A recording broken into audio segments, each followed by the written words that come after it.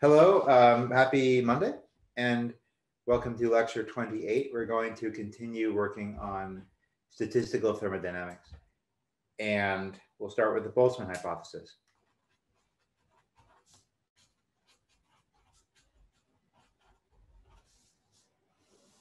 All right, and, and what what Gibbs is to classical thermo uh, Boltzmann is to statistical.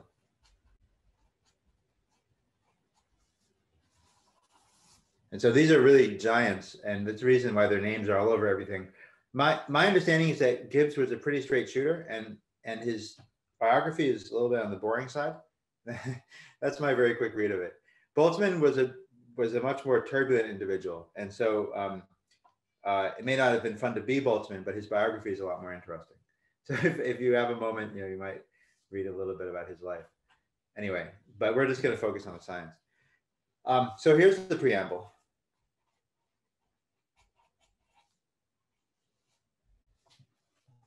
We have this quantity, which we counted uh, microstates, right? Omega. It describes it describes the stability. We haven't put it in these terms, but it follows from everything we've been doing. Omega describes the stability of a macrostate because the state with maximum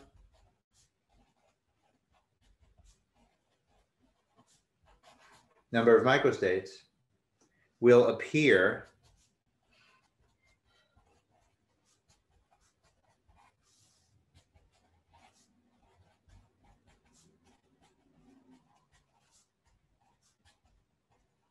Right. So this is a this is an observation from what we've done so far, and I and I hope this is this is sensible to you that the state with the maximum number of microstates will appear the most stable.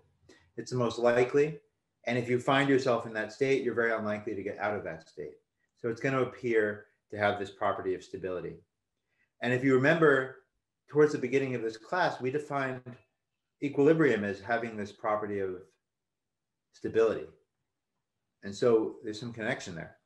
And so uh, Boltzmann made that connection with his hypothesis. And his hypothesis is that the entropy is a function of the number of microstates. So the entropy of a macrostate is a function of the number of microstates corresponding to that macrostate. And more than that, he hypothesized that entropy is a monotonically increasing function of omega, right? So this is a monotonically increasing function. So, you know, what that means is that max S means max omega, right? So we're going to use that. Max entropy means max omega. So that's that's a hypothesis. All right, so we're going to consider the form of that function. This is pretty easily done. Consider two isolated systems.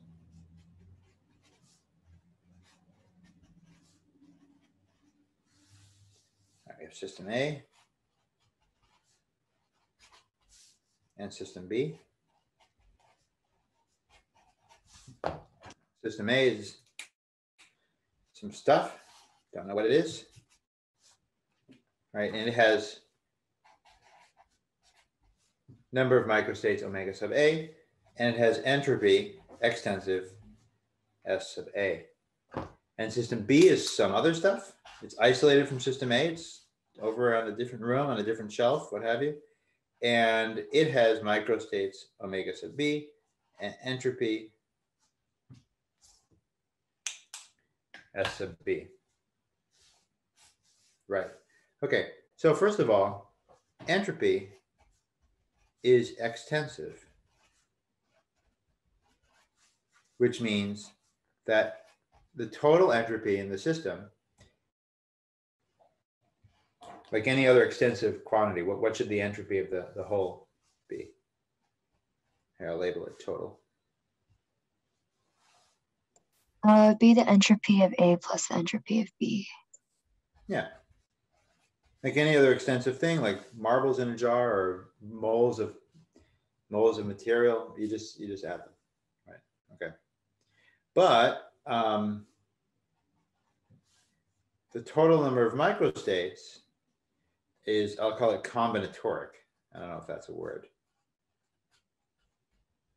What I mean is the total number of microstates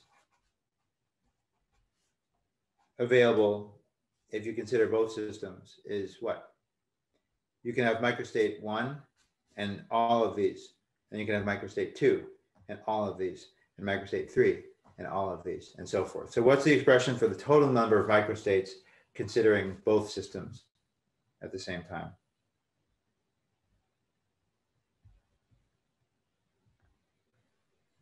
Is it the product of A and B? It's the product, yeah.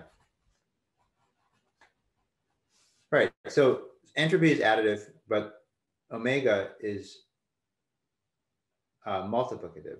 So that means F of omega total, which is F of omega A times omega B is F omega A plus F omega B, right? We're using both of these properties now. Okay, so um, who knows a function that has this property? Right, the function of the product is the sum of the functions. Log. Logs. Yeah, right. So we come up with this conclusion, which is that this function we're looking for, which is entropy, is proportional to log of omega. And we're going to right now just have a, you can have a prefactor out there, it doesn't change.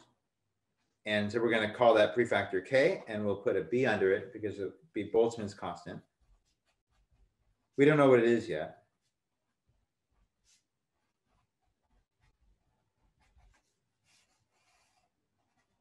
Boltzmann's constant. And this is known as Boltzmann's entropy formula.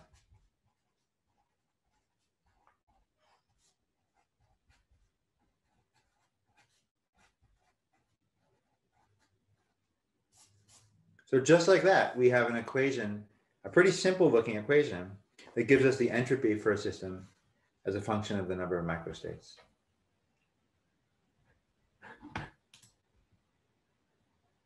That's pretty cool. All right, so we still don't know what Boltzmann's constant is, but that's okay. So let's, let's see what some implications of that are. We'll start with this thing, configurational entropy, which we have talked about throughout the term.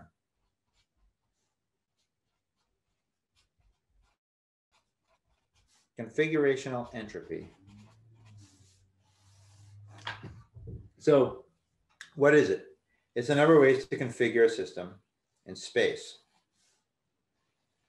So I'm going to draw a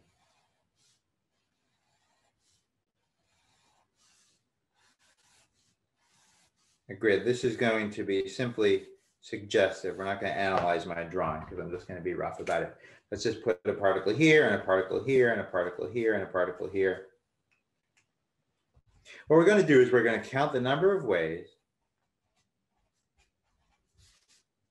to distribute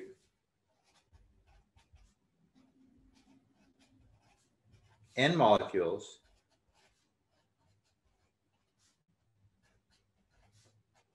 into R boxes.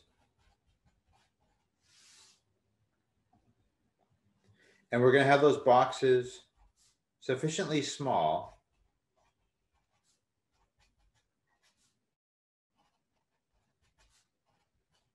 such that no box has more than one molecule. So we're dividing space up into tiny, tiny, tiny little voxels. Well, we, we know how to do this already. We talked about this the other time. it's, um, this is just R choose N.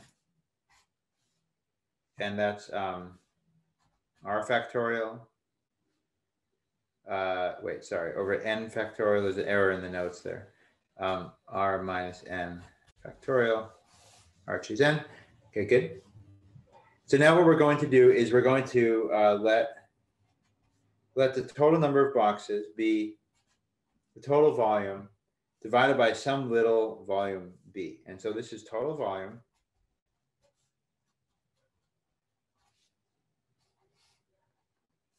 And this is a little voxel. And we can say corresponds to volume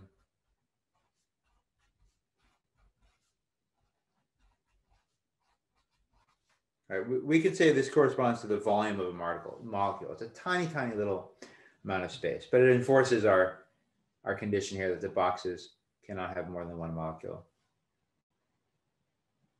Okay, so now it can be shown, you will on the p-set, can be shown that the log of R choose n all right, you're going to take the log of omega. That's the that's the Boltzmann hypothesis, Boltzmann entropy formula thing. So you're going to take the log of this binomial coefficient. The log of R choose n is approximately n log R for R very, very much larger than n. So R very, very much larger than n corresponds to, um, let's say, a gas most of space is empty. There's a large number, a much larger number of, of voxels of space than there are molecules to fill them. So that, that's like a gas. And uh, this is, um, right, that, that's a problem on, on the current p-set. Okay, so far so good. Now what we're gonna do, now let system expand.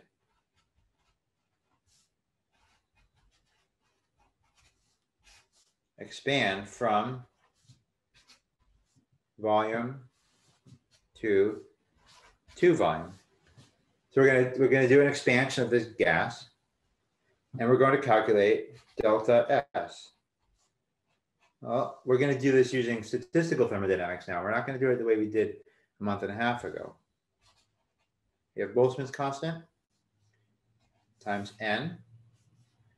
And let's see, log 2 volume over b minus log volume over b.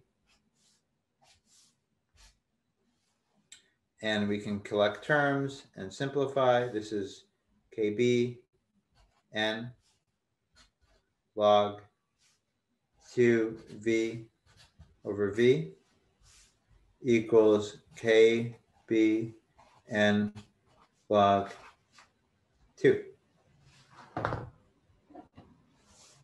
Okay.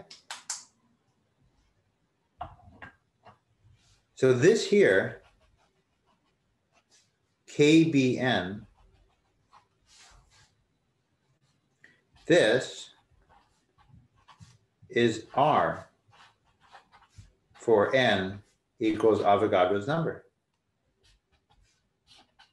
We recall this from the classical derivation, isothermal expansion of an ideal gas.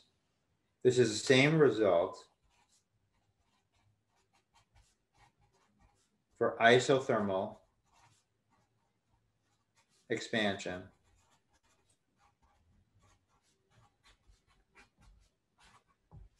of ideal gas. Right, delta S equals R log V final over V initial. Okay, so this is one way to start identifying what that Boltzmann's constant is. Boltzmann's constant is R divided by Avogadro's number. Okay, that's cool. That's neat, right? We've done this weird statistical thing. And you know, good old Ludwig came up with, with this. And we find that when we calculate um, a simple case, we get functionally the same thing as when we calculated this case when we didn't know anything about molecules, right? And we were just dealing with classical thermodynamics. We can make the connection via the coefficients. That's cool. Okay, questions about this? Because I'm going to move on to the next thing that, that Boltzmann did. Okay, the next thing we're going to do, and what we're really building up to here, is the maximum entropy condition.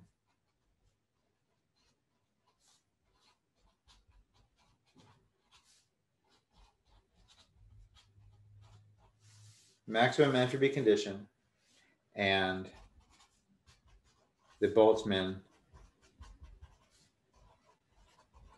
distribution.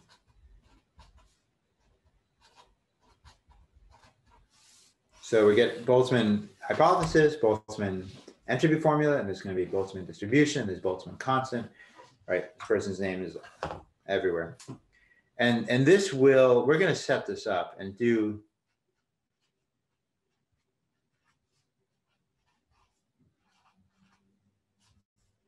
most of it, but this will carry over into lecture 29. It's that central that it's worth taking the time. All right, so here's what we're going to do. We're going to consider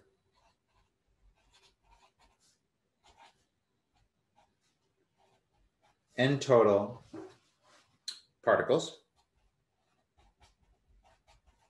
distributed over R states according to the occupation numbers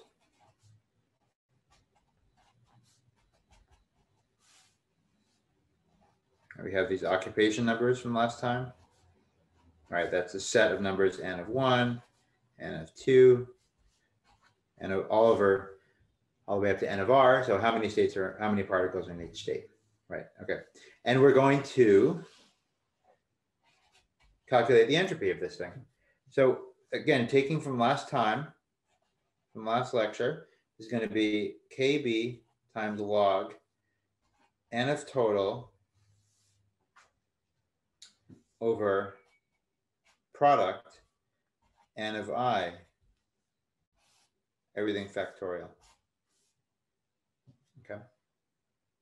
Now I'm going to use Stirling's approximation.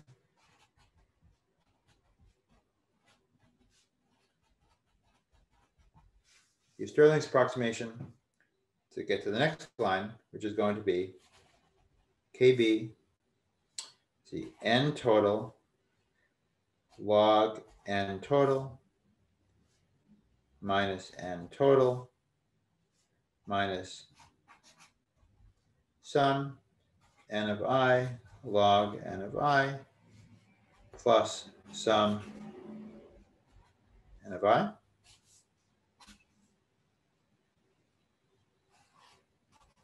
So that uses Stirling's approximation. And then I'm going to use the fact that the sum over i of n, n of n i equals n total. So that the sum of where all the particles are equals all the particles.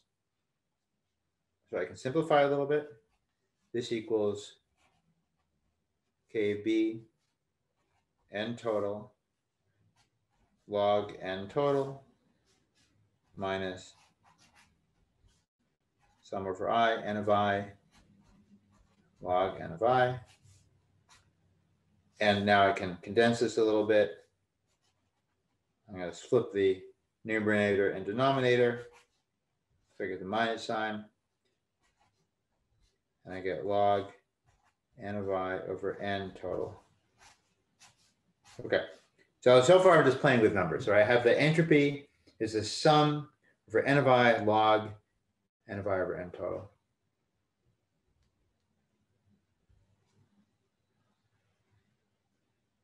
By the way, this kind of looks like x log x, doesn't it? It kind of looks like our ideal entropy formula. Anyway, just a passing observation.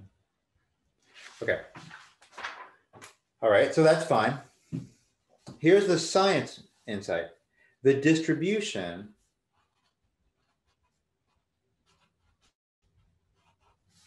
of occupation numbers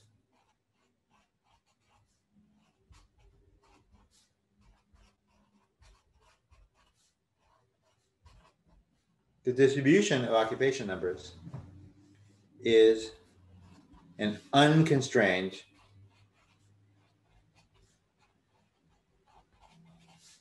internal variable.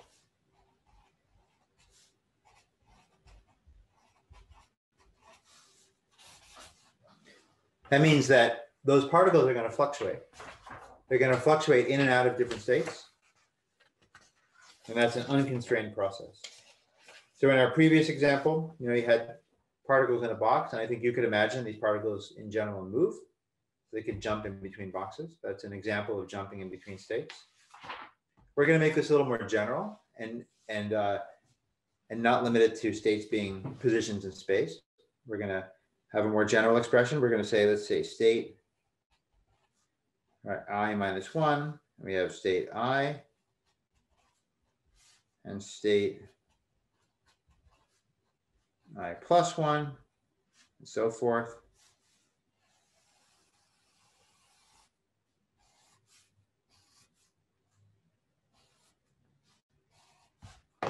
And we're going to allow that, you know, let's say there's at any given moment, let's say there's four particles in this state. Let's say there's two particles in this state, and there was a third, but that particle jumped, right? It fluctuated and went over here. This is simply visually acknowledging that these states are fluctuating. The particles are fluctuating between them. These fluctuations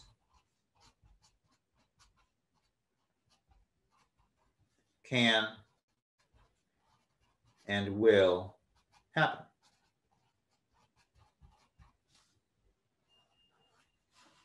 Right, okay. So if that's happening, the maximum entropy condition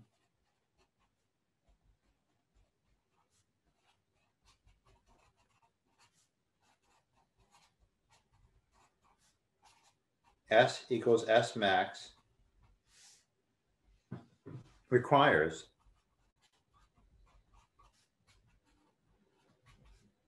that S is what? Stationary as we have done now so many times in this class has to be stationary with respect to all unconstrained internal processes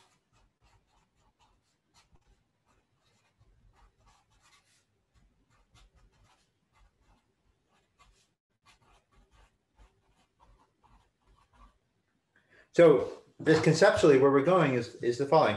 We did something like this before. We've done it multiple times. When we had uh, two systems that could exchange volume, we required the entropy is stationary with respect to that. And we got the mechanical equilibrium condition, right? Pressures are equal. When we had two systems, systems that can, can exchange energy, we wrote out the max entropy condition and we required that the entropy is stationary with respect to, to energy exchange. And we got the thermal equilibrium condition. We got the temperatures are equal. And likewise with systems that could exchange particle number, we got chemical potential being equal. And add, adding that whole thing up, we call that thermodynamic equilibrium. Right, so now we're, we're doing something slightly different. We're requiring this entropy is stationary with respect to exchange between different states. And it's pretty general right now. So, you know, um, a little bit vague, but there are there are clear similarities to what we've done earlier in the class. At least they're they're mathematical similarities. So ds prime, let's write that out, equals minus Boltzmann's constant. And what I'm doing is I'm just taking the total derivative. So L log n of i d n of i let's see plus n of i over n of i d n of i minus log of n total d n of i minus n of i over n total just taking the total derivative of the, um, of the expression on the previous slide. And this, this simplifies pretty readily. And I get minus Boltzmann's constant. And the sum over log n of i over n total d n of i.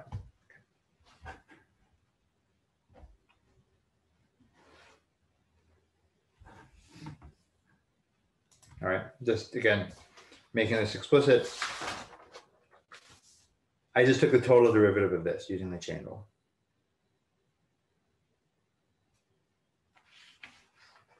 All right, so that's ds. And I have all my little unconstrained internal processes here, little fluctuations between the occupation numbers. All right, now let's apply my constraints. That's what we did before, and that's what we'll do again. And in this case, I'm going to apply isolation constraints.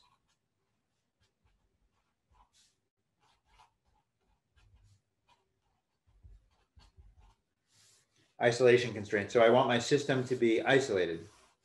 Max entropy is the equilibrium condition for an isolated system, right? We, we remember that. So here's my little fluffy, if my, you know, the, the pink ice, pink insulation here surrounding my system. And uh, I've got system, surroundings, and what? Uh, the boundary is rigid. It is impermeable.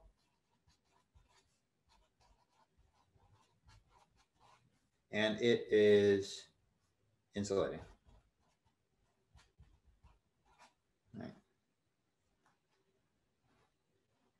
All right, now we're going to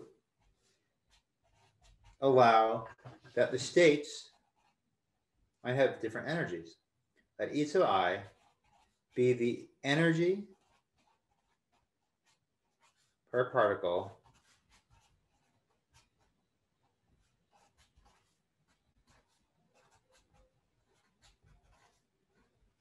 state I. And I don't want to just slip this in there. This is kind of new.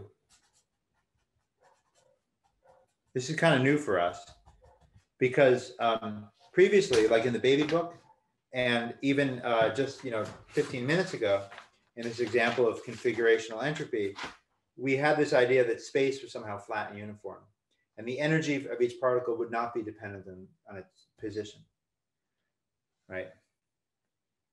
So if the states are positions, maybe you have a gravitational potential, or maybe you have an electric field, right? Maybe this is a battery and there's an electric potential, and maybe the particles are charged. And then you can imagine energy and space becoming conflated.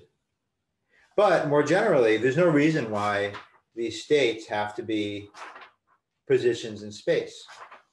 They could be spin states or vibrational states. They could be rotational states. They can be anything that um, is is distinct, right? Different states of a particle. In general, these different states can have different energies per particle. Okay, so E sub i equals the energy per particle in state i. And so we're going to then say the total internal energy uh, is pretty simple. It's just adding up all the energies. E sub i times n sub i. And that means that du equals E sub i dn of i. It's conservation of energy.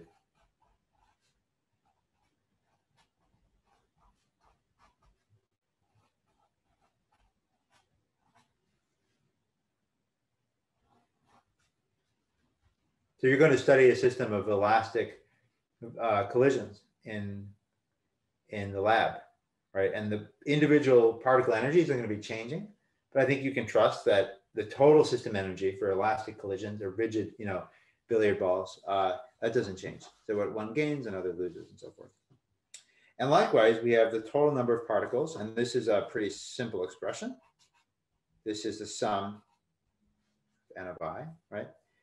And that means dn total equals the sum dn of i. I'm sorry, I forgot. This is going to be zero. And this is going to be zero, right? Conservation of mass.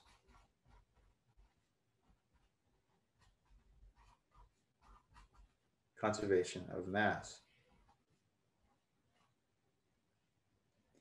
So now I have some mathematical ways to apply these conditions. And I'll just make a note, a note in passing. This um, really is beyond the scope of this class, but those who are interested, conservation of volume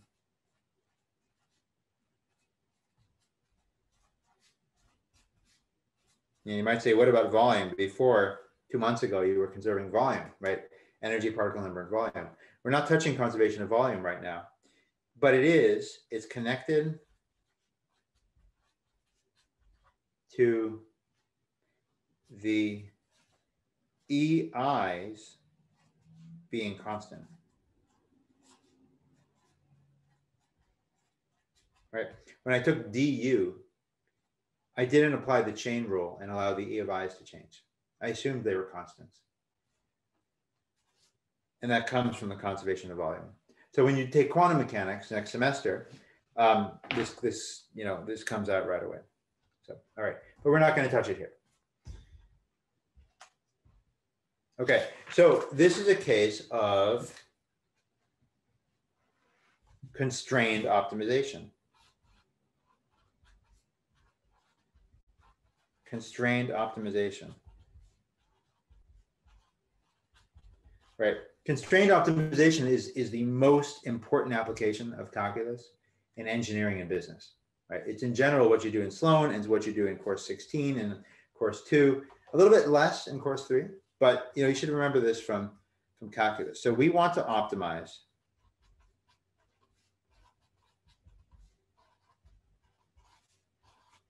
that function subject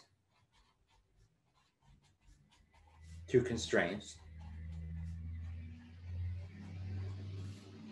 that the energy and the total particle number are fixed.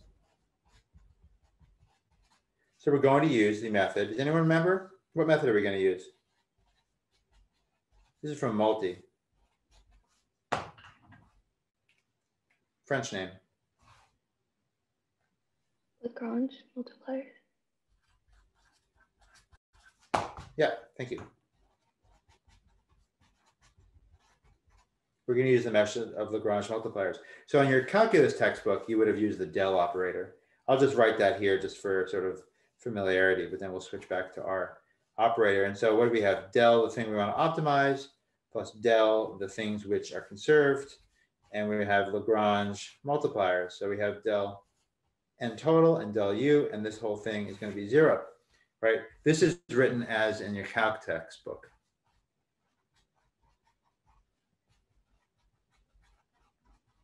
Right, with the with the with the del operator, um, but we're gonna we're gonna write it this way: ds plus alpha dn total plus beta du equals zero, and alpha and beta are the Lagrange multipliers.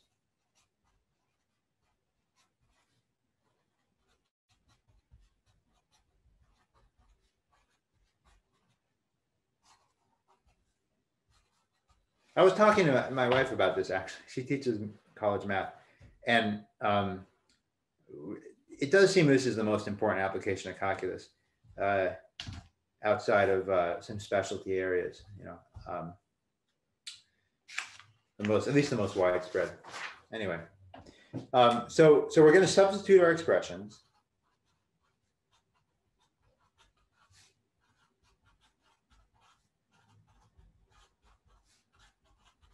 We have expressions for ds and du and dn total and uh, and collect terms.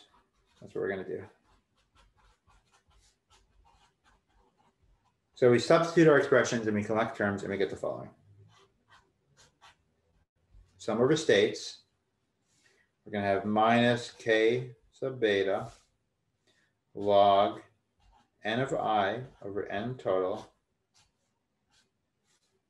plus alpha plus beta e of i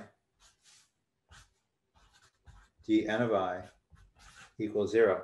Okay, so, um, right, what is this functional form? What is this form? This is just like we did two months ago, starting about two months ago for the case of unary systems. Right, we have here an unconstrained, independent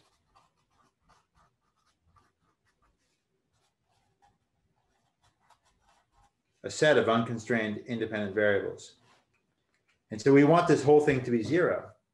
How do we ensure that this whole thing is zero?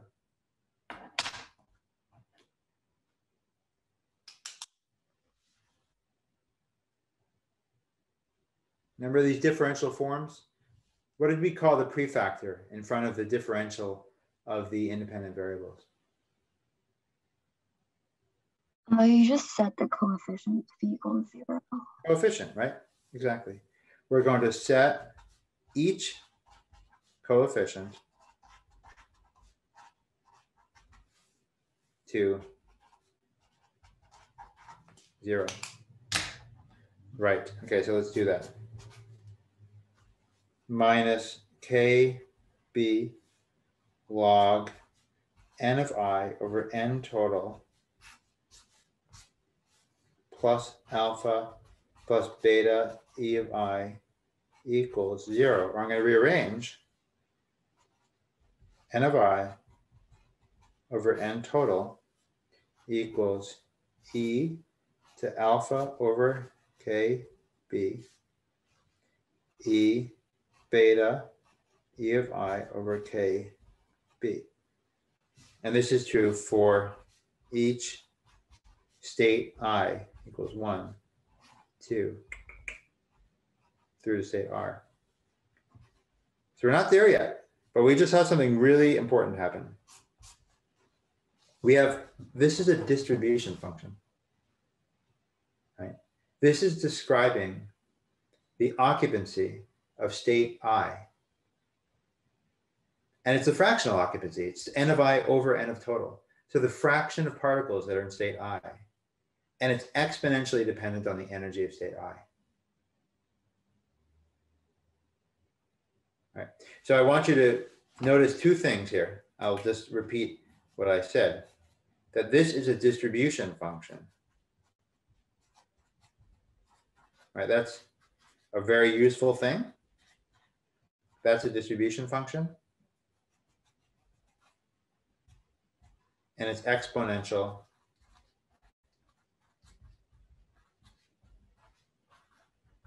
in E of I. But we haven't finished yet because we have these Lagrange multipliers, so we don't know what those are yet. So we're gonna we're gonna determine one of them now, and we'll determine the other one on Wednesday. So okay, so we're going to we're going to determine alpha by normalization.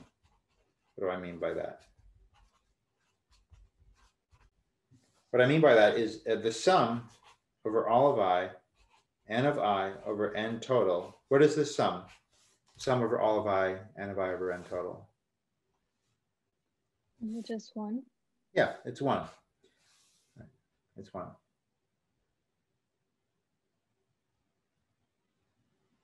So if we uh, set that equal to one, we get the following, e to the alpha over Boltzmann's constant equals one over sum over i e beta epsilon i over k b.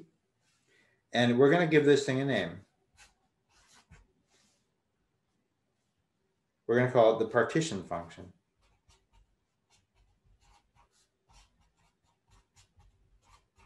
The partition function Q is the sum over all possible states E beta E of I over K Boltzmann.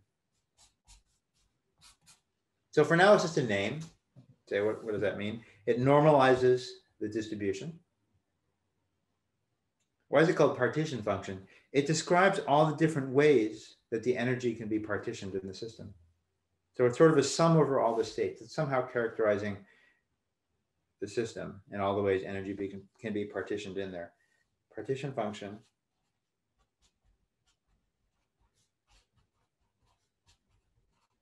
Normalizes the distribution function.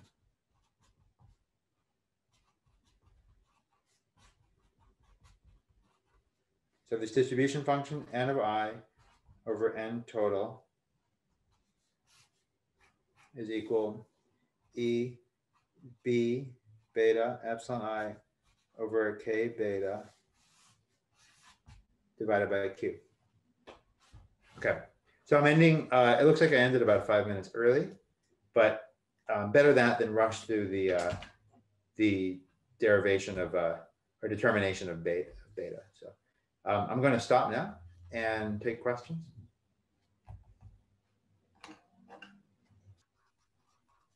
Could you explain the Lagrange multipliers a little bit? Like Yeah. behind it? Yeah. Um,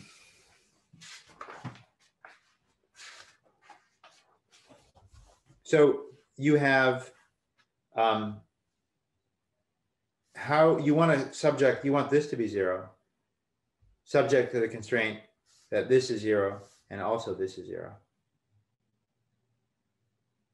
And um, you know these are zero because you, you're applying those constraints. And so you can you can add these to the equation of delta S equals zero without fundamentally changing the equation. And then alpha and beta are not necessary mathematically, but they generalize the situation. And so then you can effectively relax, you can relax your constraints here, and the overall constraint is maintained by alpha and beta.